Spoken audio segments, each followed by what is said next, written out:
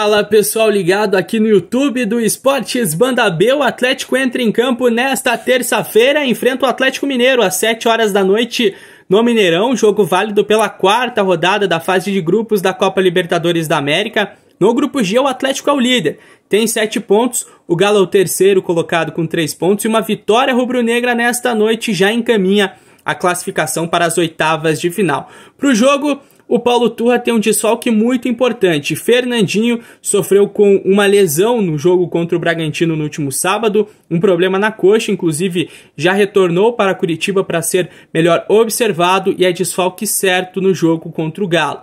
De resto, né, força máxima, afinal de contas, o técnico Paulo Turra preservou os titulares no último sábado, então o Furacão é um titular, claro, com a ausência do Fernandinho para este duelo com o Atlético Mineiro. Claro, transmissão completa aqui da Rádio Banda B a partir de 5 horas com o nosso balanço esportivo.